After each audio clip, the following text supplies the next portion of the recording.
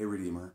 On Sunday, we talked about two disciplines that Jesus gives us regarding our finances. First, stop over accumulating. He says, Do not store up for yourselves treasures on earth. And second, to become generous in giving.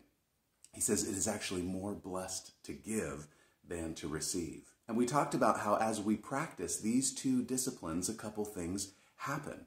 We actually get to live into and live from the space of his competent and capable care for us as our good shepherd. And we also get to live into and live from our identity as his well cared for sheep. Well, this morning, I want to follow up and say there is another discipline that leans into these two ideas of care and identity. And that discipline is Sabbath. Sabbath is when we take one day a week to stop working, stop producing, stop consuming, and instead to lean into our freedom that we have as the people of God. When we practice Sabbath, again, we lean into that idea that I am already well cared for so that I don't need to keep working. I don't need to keep being a part of the rat race and keep producing or even continue consuming because I already have enough. I can take a day off. Also, when we participate in Sabbath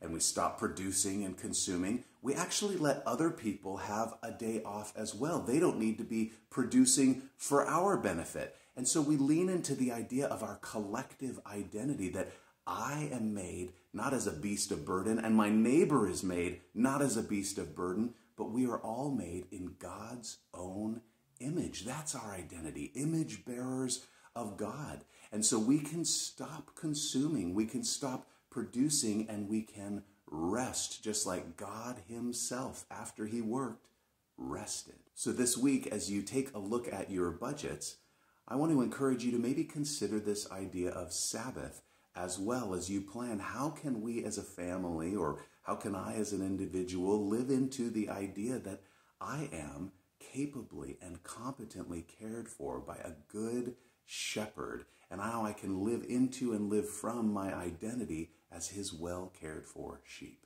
God bless you, Redeemer. Happy Thanksgiving.